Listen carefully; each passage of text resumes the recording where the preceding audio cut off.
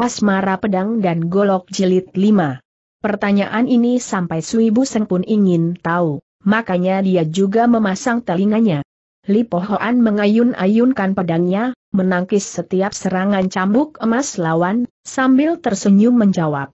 Sebab kau pasti tidak tahu jurus pedangku, maka aku mengambil kesempatan ini supaya kau bisa melihat sendiri. Kenapa aku harus tahu Hoyanti yang So masih tidak mengerti? Hei, aku khawatir cepat atau lambat kau akan bertarung denganku, maka lebih baik aku memberitahukan lebih dulu. Tapi kenapa kita pasti akan bertarung pertanyaan ini hanya berkumandang di dalam hati Hoyanti yang So, dia tidak mengucapkannya, takut orang salah paham mengira dia takut akan pertarungan itu. Mendadak Li Pohoan membalikan tubuh menghadap pada Sui Buseng, tangan kanan masih tetap menekan pegangan pedang. Sepasang mata di bawah alis tebalnya berkilat-kilat seperti matu macan, padahal di saat dia teh membelakangi Sui Buseng, dia pun mampu setiap saat menyerangnya. Sekarang setelah saling berhadapan, tekanannya tampak semakin kuat dari tadi. Hampir saja Sui Buseng tertekan mundur oleh pembawaan dia, tapi akhirnya masih bisa berdiri tegak, malah masih bisa berteriak. Huan Lojit, saudara ketujuh, aku segera datang membantumu. Biasanya suara Hoyanti yang so lebih keras beberapa kali lipat dari orang biasa, sekarang dia berbicara sengaja memperkeras lagi, tentu saja suaranya jadi lebih menggetarkan telinga orang. Kau tidak boleh membantu, kecuali kau bisa mengalahkan Motsuku. Jika tidak kau harus tunggu sampai di antara mereka ada yang menang atau kalah. Sui Buseng berteriak, wajahnya berubah jadi bengis. Hoyanti yang so mengira dia pasti akan mengayunkan kapaknya menyerang membabi buta. Tapi hal itu ternyata tidak terjadi, Sui Buseng masih tetap berdiri di tempatnya. Walaupun Sui Buseng tidak waras, tapi di saat penentuan Hidfip mati, dia tetap bisa memperhitungkan untung ruginya. Jika dia selalu membunuh orang secara membabi buta, mungkin dia sudah mati sejak dulu. Dia sadar tidak mudah menghadapi motunya Hoyan Tiang Sou.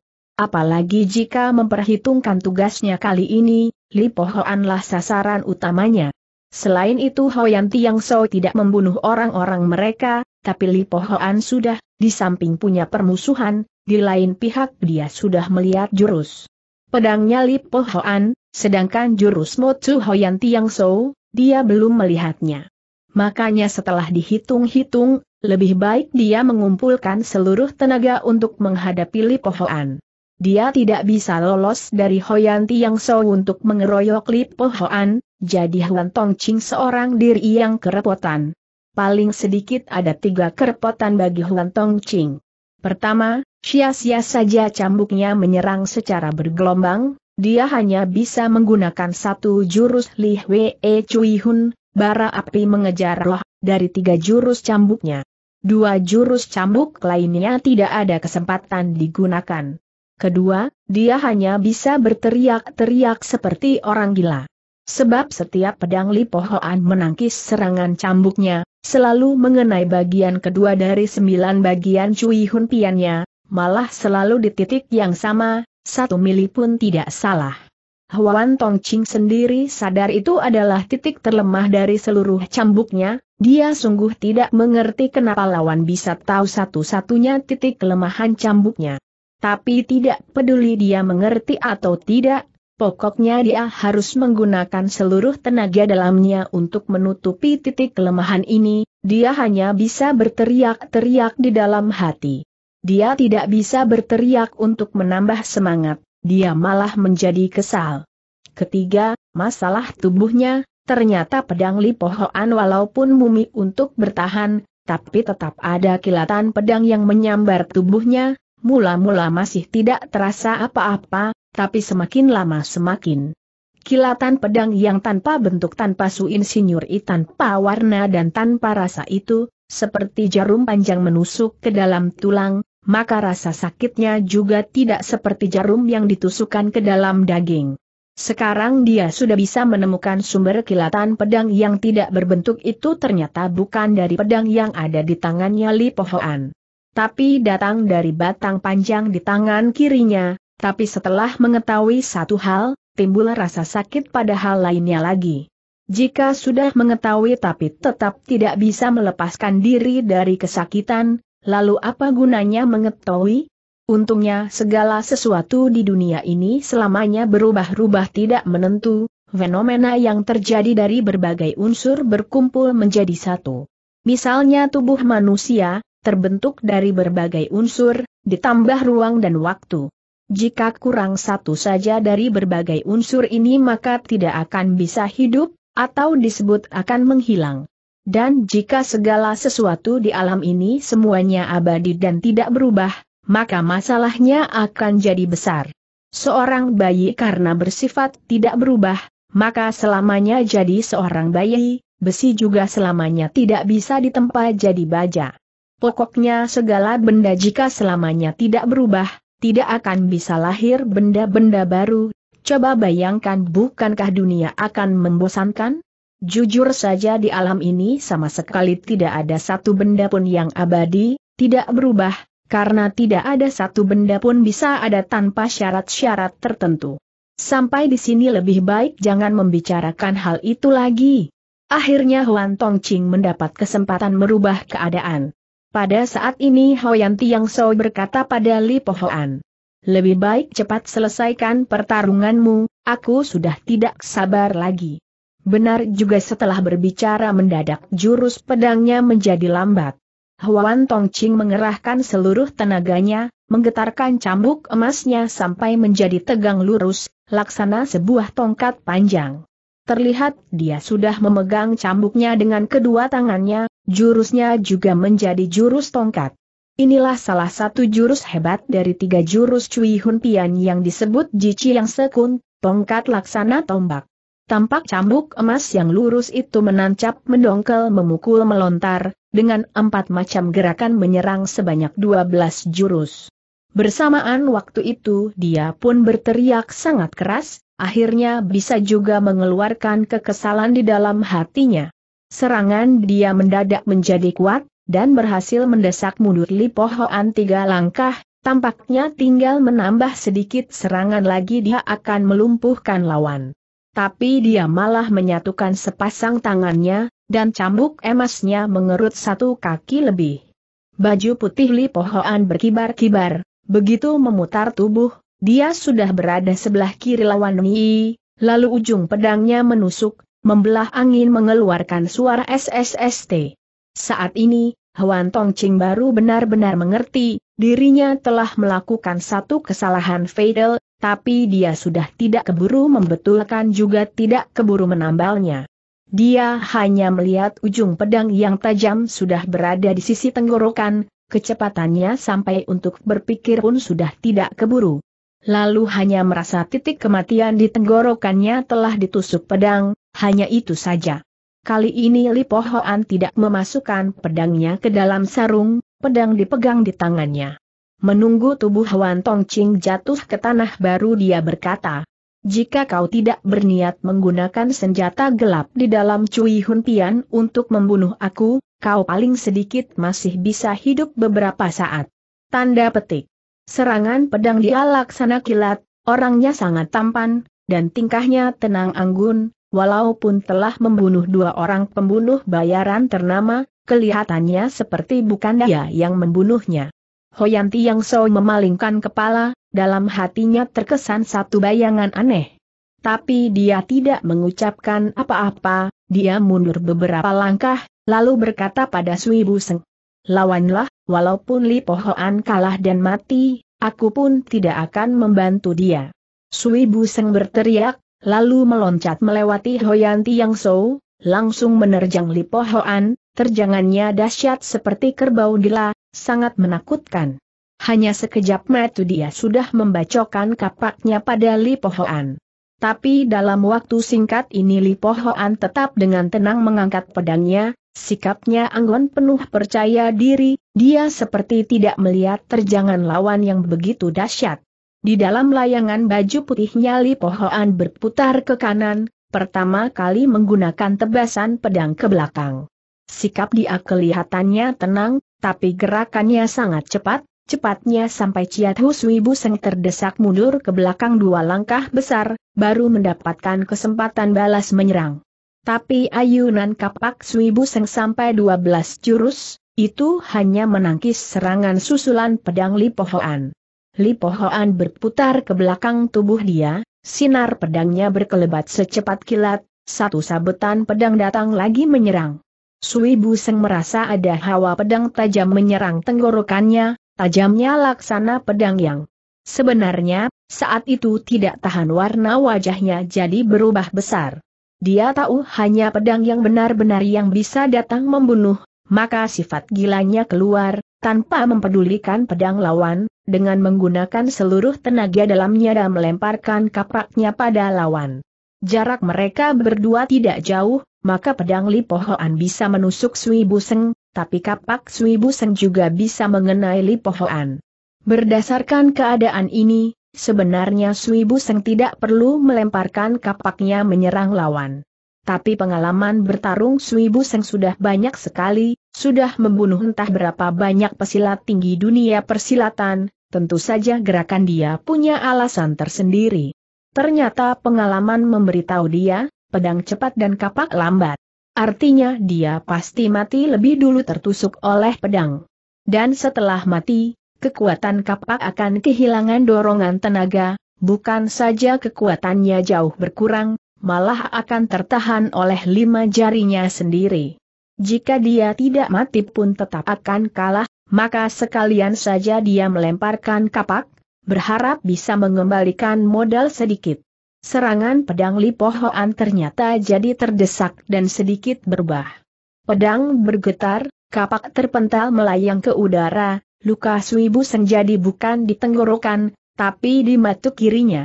Matu kiri Swibu Seng tertusuk pedang, tidak perlu dijelaskan tentu saja matu ini segera menjadi buta, tapi dia tidak sampai mati. Dia pun tidak sampai roboh, hanya mundur dua langkah, menggunakan tangan kirinya menutup luka matu kiri yang bercucuran darah segar. Li Pohoan berdiri tegak sambil mengangkat pedang, sikapnya anggun, sambil tersenyum berkata, Sui Buseng, kau sudah mati setengah, Apakah kau tahu siapa yang harus disalahkan? Siapa pun orangnya, setelah matanya buta sebelah, tentu saja bisa dianggap mati setengah, aturan asuransi zaman sekarang juga begitu. Diam-diam Sui Buseng mengerahkan tenaga dalamnya, berturut-turut menghirup nafas tiga kali. Sekejap sakitnya sudah berkurang banyak, dan kesadarannya pun sudah kembali. Dia tertawa gila juga kesal, katanya. Aku tidak tahu, aku hanya bisa salahkan kau, selain kau, siapa lagi yang bisa aku salahkan kata Li Pohoan. Salah, kau datang untuk membunuh aku tapi tidak berhasil, ini disebut kalah kemampuan, bagaimana boleh menyalahkan aku? Haruskah aku menyalahkan diri sendiri? Salah, kau kalah kemampuan, itu hal yang tidak bisa dibantah, misalkan kau mungkin tidak bisa mengalahkan ketuamu, tapi apakah kau bisa menyalahkan dirimu sendiri apakah kau akan bunuh diri karenanya? Sui Bu jadi bingung dan berkata, tentu saja aku tidak akan bunuh diri, tapi aku harus menyalahkan siapa? Kau harus menyalahkan orang yang mengutusmu ke sini, yang tidak tahu kemampuanmu kalah oleh lawanmu. Dengan kata lain, orang yang mengutus kalian untuk membunuh aku, seharusnya menyelidiki dulu kemampuanku. Jika tidak menyelidiki terlebih dulu, itu sama dengan sia-sia saja mengantarkan nyawa kalian, menurutmu orang ini harus disalahkan, tidak Sui Buseng dengan keras teriak, anggap saja menyalahkan dia, lalu mau apa biar aku membalaskan untuk kalian, kau sendiri tidak mampu, tapi aku mampu. Tawa Sui Buseng sangat bengis dan menakutkan, mungkin karena wajahnya penuh dengan darah. Usulan ini cukup bagus, tapi aku tidak akan masuk perangkapmu, aku juga tidak akan mengkhianati saudara dan teman sendiri. Kau salah. Aku bukan menanyakan masalah internal kalian, karena orang yang memerintah kalian pasti adalah ketua kalian Tokah Kong Leong, kaki tunggal naga gila, Pui Suhu. Tidak perlu diragukan lagi, buat apa kau menghabiskan waktu sia-sia Sui Buseng keheranan? Kau sungguh nihai, tidak heran kekuatan tipian tanpang, perkumpulan pikulan besi, di Hansui sangat besar, bahkan menurut kabar kau bertekad menguasai seluruh dunia persilatan. Jangan bicarakan ini, coba kau pikir-pikir, jika kau menganggap jurus pedangku cukup hebat, merasa aku bisa membalaskan kekesalanmu. Maka kau beritahukan padaku, siapa yang mengancam perkumpulan Tong Hai Kong Jin. Sui Buseng berpikir sejenak, walaupun mata dia sudah buta darah memenuhi wajahnya, tapi bagaimanapun dia adalah orang pesilat tinggi kelas 1, maka dia masih bisa bertahan. Setelah dia berpikir sebentar baru berkata, kau bunuhlah aku. Kali ini giliran Li Pohoan keheranan, kenapa? Kau sudah bosan hidup? Bukan, soalnya aku tidak tahu ketua diancam oleh siapa. Mungkin setelah aku jadi setan baru bisa menyelidikinya, saat itu aku pasti akan memberitahukan padamu. Dia mengucapkan kata-katanya tidak dengan nada kelakar, bisa dilihat dia memang punya pikiran demikian. Li Pohoan jadi tertawa salah, menangis pun salah, dia memalingkan kepala melihat pada Hoyan Tiang Shou. Hoyan Tiang Shou sangat tegas, memberi isyarat untuk membunuhnya. Membunuh orang walaupun menyenangkan, tapi bukan care bagus untuk menyelesaikan masalah. Maka Li Pohoan tertawa pahit, memalingkan kepala berkata pada Sui Buseng. Kau pasti punya sedikit informasi, hanya kau sendiri tidak tahu bahwa itu merupakan informasi penting. Jika kau ingin aku membantumu membalaskan kekesalanmu, membantu perkumpulan kalian melepaskan diri dari ancaman, sekarang coba jawab beberapa pertanyaanku. Sui Buseng berpikir sebentar baru menjawab, baik, tanyalah perkumpulan kalian dalam satu dua tahun ini apakah ada pemasukan yang khusus? Jika kami ada bisnis ada tugas, maka ada pemasukan, tapi tidak bisa dikatakan khusus. Di markas lama kalian apakah akhir-akhir ini ada gerakan khusus? Misalnya di bidang pertahanan? Sui Buseng menggelengkan kepala. Ada tidak pesilat tinggi yang baru bergabung? Yang ilmu silatnya kurang lebih sama dengan kalian tidak ada. Kalau begitu apakah ketua kalian mempunyai orang yang paling disayang? Laki-laki atau perempuan sama saja, ada tidak? Saat ini, Sui Buseng baru bereaksi, tubuhnya tergetar dan berkata, ada, ada seorang wanita, siapa dia? Tidak tahu, Sui Buseng menjawab, aku hanya tahu dia bermarga Lu, kami memanggil dia Lu Hujin, berapa usia dia? Apakah dia cantik sekali dia memang terlalu cantik. Tidak ada orang yang tidak berpikiran demikian. Aku sendiri juga begitu, tapi biasa aku tidak mendekati wanita, aku tidak suka wanita, sebab wanita adalah sumber keruwetan, kesedihan, pusing, dan malapetaka, maka wanita selain kejelekannya, masih ada keuntungan apa lagi? Kata-kata Sui Buseng tentu saja terlalu ekstrim. Jika diganti dengan orang yang menyukai wanita, mungkin dia bisa mengutarakan seribu macam kebaikan wanita. Tapi jika Sui Buseng membenci wanita, itu juga tidak bisa dilarang dia berpikiran demikian. Li Pohoan menggoyangkan tangannya dan berkata, Kau pergilah. Sui Buseng sampai Hoyan Tiang So yang berdiri agak jauh jadi sangat terkejut. Pergi? Kau menyuruh aku pergi telingamu tidak sakit bukan? Tidak mungkin, kau pasti ada siasat busuk lainnya. Tanda petik. Guman Sui Buseng. Tidak ada, Li Pohoan berkata, janjiku selalu ditepati, sedikit sekali orang yang tidak percaya kata-kataku. Sui Buseng merasa masih tidak percaya, dengan gagap berkata. Tapi kalian sudah kehilangan banyak orang? Tidak apa-apa, Li Pohoan masih tampak sangat yakin dan berkata, Aku berharap racun yang kalian gunakan kelihayannya tidak sampai tidak bisa dikendalikan. Sui Buseng terkejut dan berkata, Kau tahu kami menggunakan racun. Itu hal yang sangat wajar, Li Pohoan tersenyum dan berkata, selain menggunakan racun, kalian punya care apalagi mampu melumpuhkan semua orangku tanpa menimbulkan suara. Akhirnya Sui Buseng merasa tidak tahan lagi.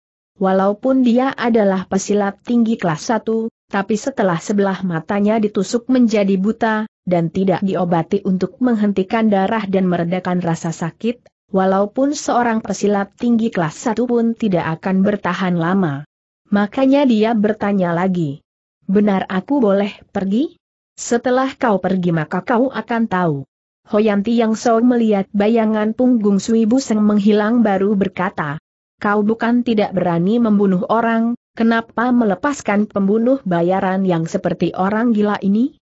Walaupun dia tidak mampu melawanmu, tapi keluargamu, teman-temanmu bagaimana? MMM, aku dengar dia menyebut perkumpulan Tipiantan, dan kau adalah ketuanya bukan?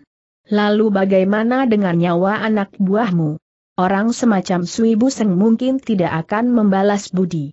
Sebelumnya aku sudah memberikan obat penangkal racun pada seluruh anak buahku yang ikut dalam pertarungan ini, semua sudah kupikirkan, misalnya melepaskan Sui Buseng, ini juga sudah kupikirkan sebelumnya.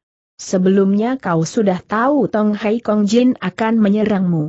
Hanya perkiraan saja, aku sudah mengetahui mereka sudah datang, tentu saja juga tahu kau sudah datang ke sini, Aku hanya memperhatikan orang-orang yang pantas bertarung denganku, bukan semua orang harus aku perhatikan.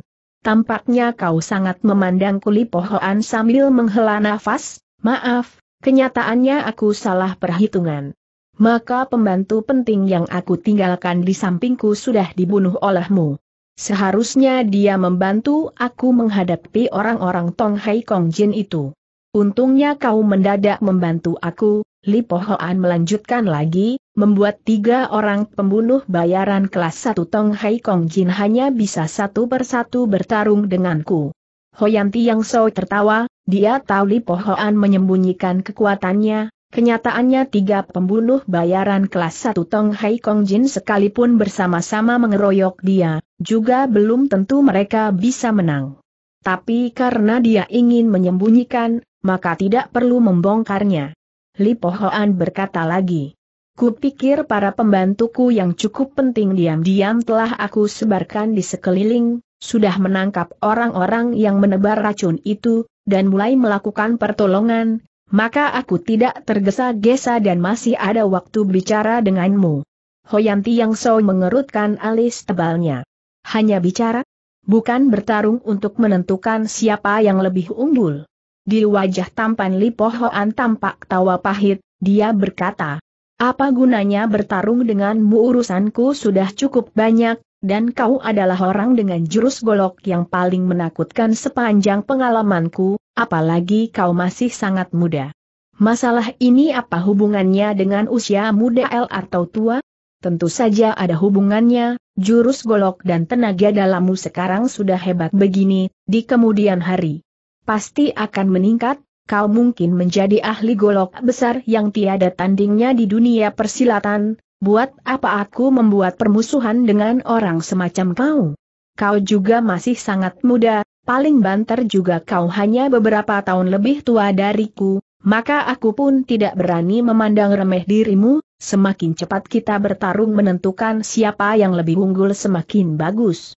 Dia sedikit pun tidak tergiur oleh kata-kata lawan, ini kejadian yang sangat aneh. Umumnya, kecuali ada permusuhan atau dendam kesumat, kenapa harus bertarung menentukan pemenangnya?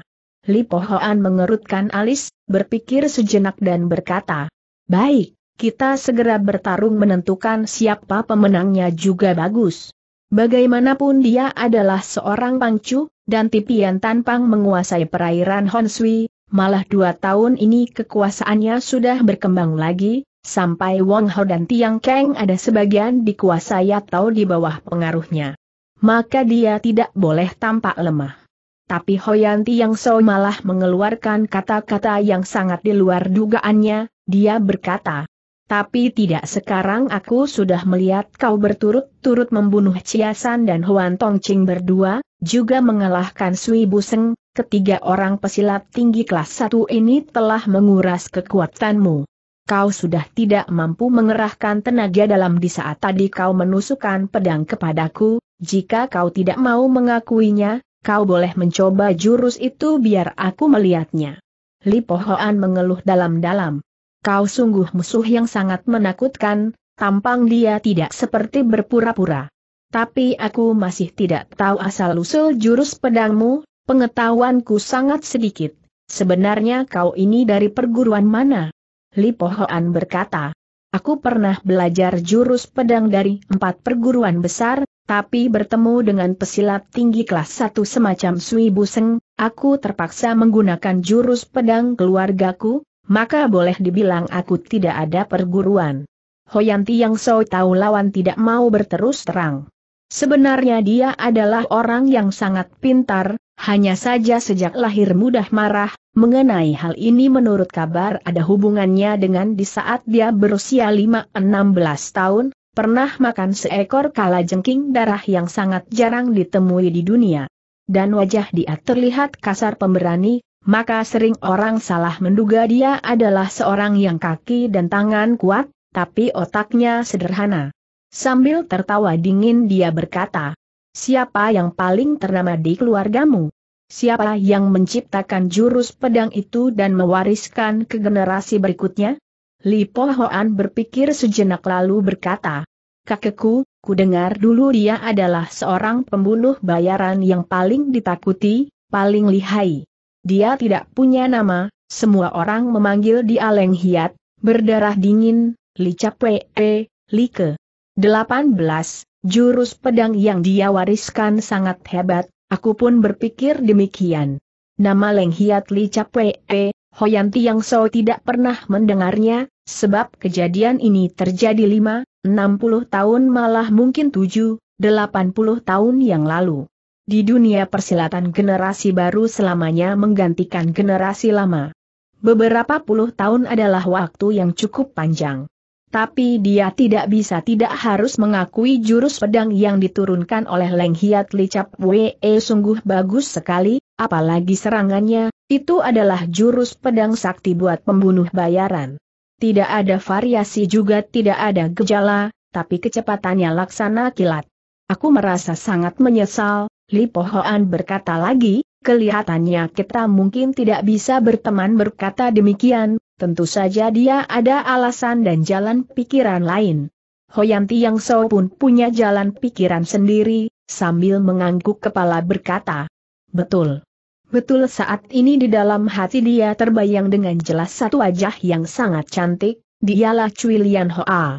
Maka setelah lewat hari ini, setiap saat, di mana saja aku bisa mencarimu untuk bertarung, tentu saja kau juga boleh melakukan hal yang sama, dan aku sudah mempersiapkan dengan baik kau bisa muncul kapan saja.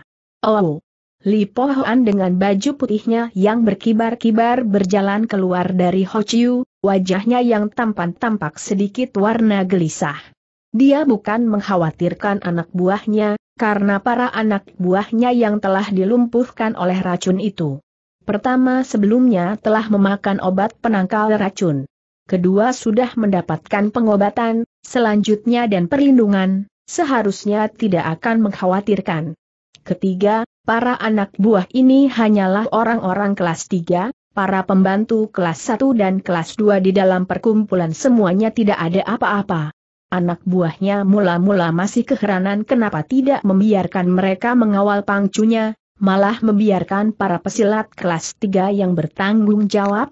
Sekarang semua orang sudah mengerti, sebab menghadapi ahli racun, siapa pun tidak akan yakin sanggup, hanya bisa melawan dengan reaktif saja. Misalnya minum obat anti racun terlebih dulu, tindakan seperti ini walaupun bisa menghindar dari kematian, tapi memerlukan waktu, dan setelahnya akan membuang waktu untuk berobat. Maka di samping Pangcu tidak ada orang yang bisa ditugaskan. Li Pohoan juga bukan risau karena telah membuat janji pertarungan dengan Hoyanti Yang Sou, karena itu pasti pertarungan ilmu silat murni yang terbuka dan adil, walaupun sampai kalah dan mati, dia juga akan merasa puas. Yang dia khawatirkan adalah Nona Cui yang berada di luar kuil Hansan. Gadis yang wajahnya secantik bunga, setiap orang akan mencintainya, sebenarnya tidak harus ditakuti, tapi Li Pohoan justru takut dia seorang diri. Sebab tipian Tan Pang yang berada di perairan Honsui, setelah beberapa tahun sukses mengembangkan kekuasaan dan daerahnya, akhir-akhir ini mendadak mendapat gangguan. Mendapat halangan adalah hal yang tidak bisa dihindarkan dalam pengembangan daerah dan kekuasaan, siapa yang rela memberikan daerah dan kekuasaannya pada orang lain? Tapi halangan itu muncul bersamaan di beberapa daerah. Belum lama ini dia juga menerima peringatan rahasia, supaya Tipian tanpang tunduk dan menerima perintah dari pihak lawan, tidak boleh melawan. Dengan demikian masalahnya jadi semakin ruwet dan berbahaya, sulit diduga. Li Pohoan tahu lawan menggunakan cara menaklukkan berbagai daerah untuk menundukkan kekuatannya, dia juga tahu lawan pasti mengerti orang seperti dia ini tidak mudah ditaklukkan maka pasti ada cara lainnya lagi yang lebih lihai dan menakutkan menunggu menghadapi dia. Setelah dia berpikir lama, dia keluar dari markasnya berusaha menyerang. Dengan kata lain, dia ingin membalikan keadaan dari reaksi menjadi aksi. Tentu saja dia pun sudah menghabiskan tidak sedikit uang, menggerakkan entah berapa banyak mata-mata, berusaha mengumpulkan informasi lengkap. Dalam hal ini, tidak bisa dikatakan dia telah berhasil mendapat beberapa kesuksesan, karena dia sudah tahu di seluruh dunia persilatan entah sudah berapa banyak perkumpulan atau organisasi yang menyerah dan dikuasai. Dia juga tahu organisasi rahasia ini diperintah bukan oleh seorang laki-laki tapi seorang perempuan.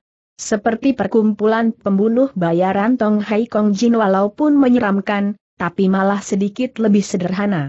Sebenarnya perkumpulan ini bisa saja dikuasai oleh siapa pun, dan syarat untuk menguasainya cukup dengan uang. Tidak tahu apakah Lu Hujin kesayangan ketua perkumpulan Tong Hai Kong Jin, Pui Suhu ada hubungannya dengan organisasi misterius itu? Nama Lu Hujin baru saja diketahui tadi, dan sebelum ini, dia selalu waspada terhadap setiap wanita yang berilmu tinggi dan jati dirinya tidak diketahui. Nona Cui pun wanita semacam ini. Tidak ada yang tahu dia datang dari mana, tiba-tiba saja muncul dalam lingkaran yang dia perhatikan J. Bisa juga dikatakan seperti ini, langkah pertama Li Pohoan keluar adalah memimpin sendiri para pesilat tinggi di perkumpulannya pergi ke Kang Lem, dan dia kebetulan muncul dalam perjalanan ini. Sebenarnya di sepanjang perjalanan Li Pohoan, wanita yang ditemuinya bukan hanya dia seorang. Tapi karena dia mendapatkan informasi yang sangat dipercaya menunjukkan, wanita penguasa dalam organisasi misterius itu ada di Kang Lem, karena dia baru saja menaklukkan Jiteng Hwee, perkumpulan tujuh lampu, di Hohui. Itu hanyalah organisasi sederhana yang hanya terdiri dari tujuh orang, Ketujuh orang ini adalah pesilat tinggi yang amat lihai, tapi ambisinya tidak terlalu besar, kekuasaannya paling banter hanya sampai Buou, dan Obu, saja.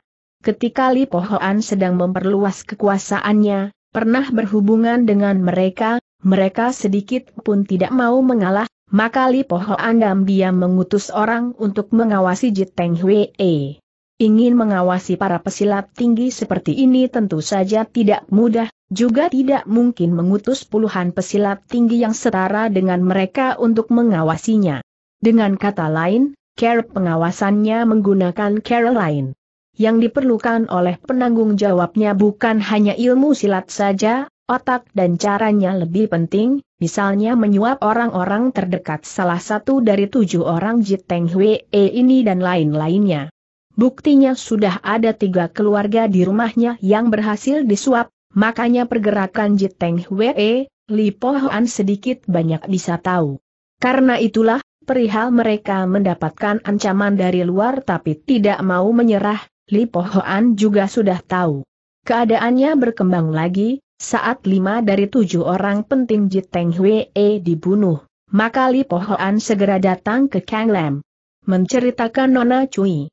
Li Pohoan bukanlah orang yang suka wanita, dan walaupun kecantikannya Nona Cui bisa membuat orang jadi menggila-gila, dia juga tidak mungkin bisa membuntutinya dari Buou sampai Soh Chiu.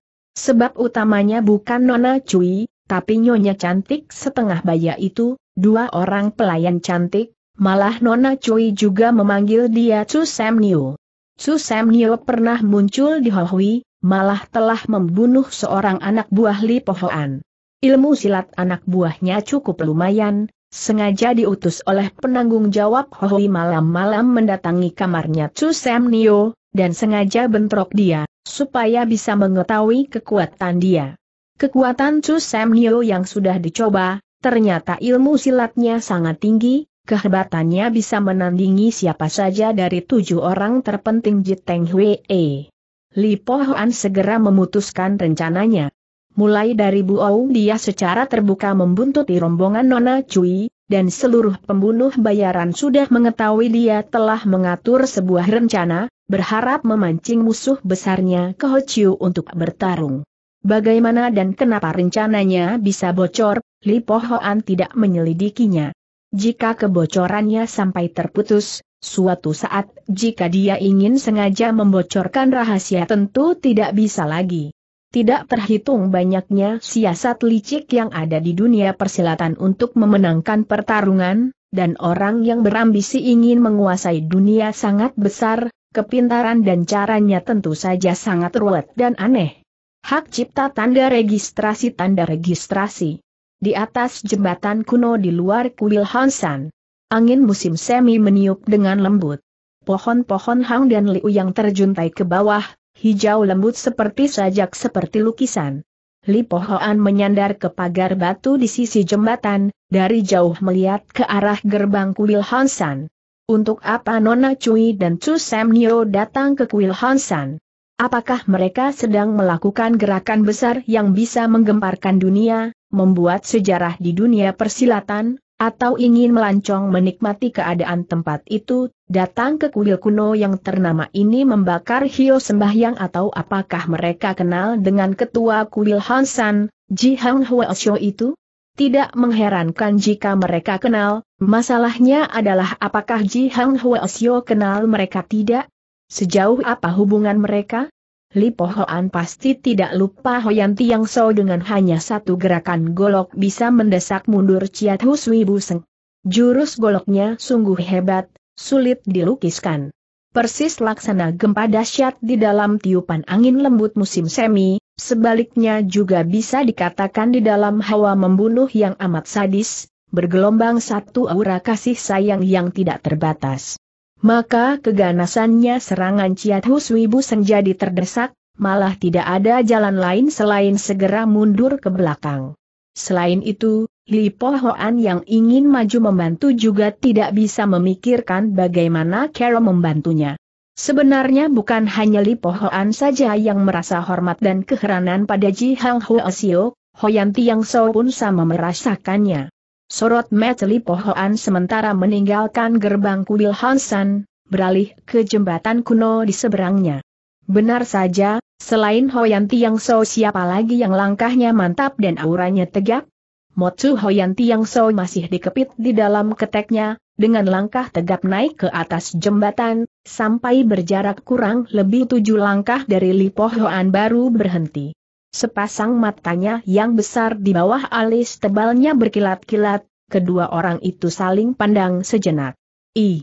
Dengan suaranya yang menggelegar Hoyanti yang So berkata, Kenapa kau berdiri di sini lagi? Li Pohoan tidak menjawab juga tidak membantah, sambil tertawa pahit berkata, Kau sendiri tahu, sudah cukup. Hoyanti yang So mengerutkan alis tebalnya dan berkata, Kau bukan seorang pembohong, Aku terpaksa percaya padamu. Untuk membalas kepercayaanmu padaku, aku beritahukan satu kabar, perihal kau telah membunuh Tuan Muda Kie Hang Nen dari Hang Lai sudah menyebar di dunia persilatan, keluarga Kie akan mengetahuinya dalam satu dua hari ini. Apa kau mengkhawatirkan aku tidak peduli apa pikiranmu, ada satu kata yang tetap akan kuberitahukan padamu, Li Pohoan mengibaskan lengan bajunya yang seputih salju itu, baju di tubuhnya tampaknya semakin putih bersih, di keluarga Kie ada tiga orang pesilat tinggi, di antaranya hanya nama Kie Ting Hoan yang diketahui oleh orang luar, menurut yang aku tahu mereka punya pesilat tinggi yang telah benar-benar terlatih. Nama tidak penting, aku sudah banyak membunuh pesilat tinggi yang tidak tahu namanya. Kata-kata ini sangat takabur sekali, suaranya juga nyaring, beberapa laki-laki di atas jembatan dan di darat juga mendengarnya. Seorang laki-laki besar berbaju hijau mendadak melangkah naik ke atas jembatan batu. Langkah dan sikapnya sangat tegap dan pemberani. Dia berjalan di belakang tubuh Li Po Hoan, karena kata-katanya Hoyanti yang so dia menghentikan langkahnya. Kata Li Po Hoan. Tan Lohen, rupanya kau tidak bisa menahan diri. Maukah kau mendengar nasihatku? Saat dia bicara, tidak memalingkan kepalanya ke belakang, tapi bisa menyebutkan nama orang yang datang ini, tampak ini salah satu kelebihannya daripada orang lain. Sebenarnya kehebatannya tidak hanya sampai di sini. Laki-laki besar berbaju hijau berkulit hitam itu menghentikan langkahnya dan berkata, Bagaimana kau bisa tahu yang naik ke atas jembatan adalah aku? Apakah ada orang yang memberitahu padamu? Li Pohoan berkata tawar. Selain pesilat tinggi ilmu golok, siapa lagi yang bisa sekali melihat Hoyanti yang so langsung tidak tahan dan menampilkan diri? Walaupun selama ini kau belum pernah memperagakan keahlian golokmu yang sebenarnya, tapi aku tetap bisa melihat kau adalah pesilat tinggi kelas saru. Aku selalu ingin menyelidiki kenapa orang pandai sepertimu, malah sengaja mau merendahkan diri berada di barisan kelas 2 di perkumpulan, aku masih belum berhasil menyelidikinya, tapi sekarang kelihatannya sudah tidak penting lagi. Sambil menekan pegangan golok dan dengan suara dalam Tan Lohan berkata, Li Pangcu, kau boleh mencurigai aku, tapi tidak perlu berpikir ke arah yang jelek, aku sama sekali tidak berniat buruk padamu. Ini hanya alasan pribadi sehingga tinggal di Siang Yang. Kalau aku tidak berpikir baik, kau sudah mati sejak dulu, mungkin kau percaya aku mampu melakukannya, kata Li Pohoan tawar. Aku percaya, angguk Tan Lohen setelah berpikir sejenak. Tapi aku sudah ada janji pertarungan dengan Hoyan Tiang Sou, kau adalah orang dari Tipian Tanpang, jika kau melakukan ini, Pikiran apa yang akan dipikirkan dia? Tan Lohan membandel dan berkata, apa yang dipikirkannya aku tidak peduli, dengan susah payah aku menemukan seorang yang benar-benar pantas menjadi lawanku, maka walaupun akan membuatmu marah, tetap akan kulakukan. Hoyanti yang so tidak marah juga tidak tertawa, sorot matanya melihat ke arah kuil Hansan. Dalam hatinya muncul bayangan Cui Lian Hoa. Sedang apa dia? Sedang berdiskusi dengan Ji Hang Hwasyo? Lalu siapa Ji Hang Hwasyo itu? Sebenarnya dia bukan tidak memperhatikan Tan Lohen, tapi karena telah banyak mengalami hal ini, maka menjadi biasa. Orang-orang dunia persilatan selalu begitu. Orang yang semakin percaya diri, saat bertemu dengan lawan tangguh semakin ingin mencobanya tidak boleh tidak. Li Pohoan tertawa pahit dan sedikit menghela nafas, bergumam. Semoga Hoyanti yang so jangan salah paham padaku. Dia melangkah mundur ke belakang dan Tan Lohen melangkah maju ke depan. Maka sekarang Tan Lohen berhadapan dengan Hoyanti yang so. Tan Lohen berkata, Aku berada di jembatan sana, tapi sudah merasakan hawa golokmu yang amat kuat, maka aku tidak bisa menahan diri ingin bertanding golok denganmu. Hoyanti yang so berkata, Beberapa orang juga sering berkata demikian, tapi bertanding sering ada yang terluka atau mati, di antara kita tidak ada permusuhan atau dendam, buat apa bertanding? Di dalam mata, Tan Lohen menyorot sinar ganas yang membara. Kalau kau takut, bersujudlah tiga kali di depan umum padaku, jika tidak takut, gunakanlah golokmu. Di ujung kedua alis tebal Hoyanti yang so menyorot amarah yang seperti bisa dilihat dan diraba. Ini adalah ciri tunggal Hoyanti yang So yang berbeda dengan orang di seluruh dunia. Walaupun Pek itu sebilah golok pusaka di dunia, tapi tidak bisa dianggap cirinya. Karena Motu bisa saja pindah tangan kepada orang lain, dan setiap orang bisa mengepitnya di bawah ketek. Hanya amarah yang berbentuk dan berisi ini, tidak ada orang kedua yang memilikinya. Motu bergulir ke telapak tangannya. Begitu dia marah maka dia akan menyerang, mengenai mencabut keluar atau tidak motonia, itu tidak ada syarat tertentu. Jika lawannya terlalu lemah, tidak perlu mengeluarkan golok, maka dia menggunakan tinju telapak tangan atau kaki, juga sama bisa merobohkan lawan.